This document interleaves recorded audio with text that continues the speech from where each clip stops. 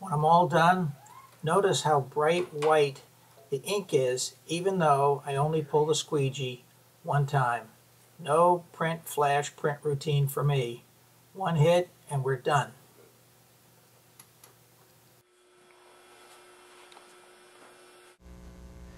Three D prints are typically printed with a Newman frame, 60 monofilament mesh, capillary film, and a 3D ink. In the case of this shirt, I used 100 micron capillary film. That can be created by two sheets of 50 laminated or by one piece 100 microns thick. If you're going with 100 microns, you need a powerful exposure unit like my NuArc, but I still like to laminate. I find that works better. Now, if you go look at this particular image, again, same procedure.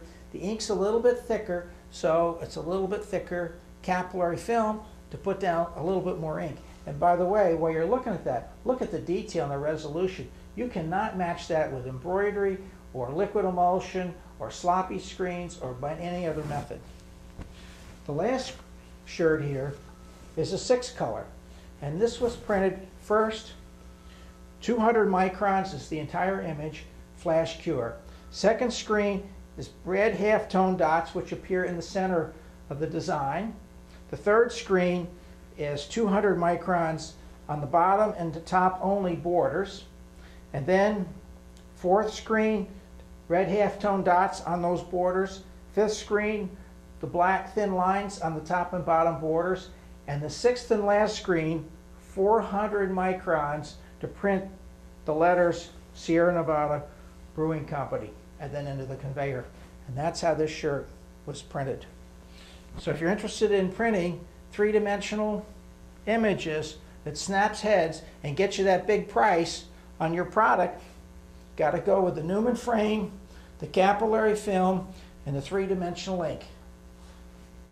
Your profit or loss at the end of the year is the summation of all your costs, not just your purchase costs.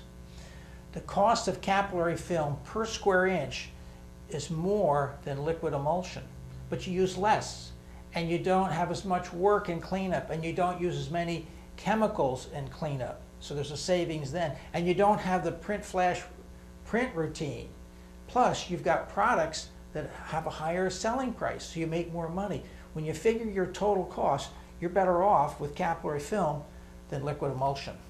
A 3D image like this is a must-have shirt, unlike a common flat printed t-shirt. If you want to print like this, you have to use Newman frames that are stretched very tight, 3D ink, and capillary film, which comes from Ulano, plus rock solid equipment.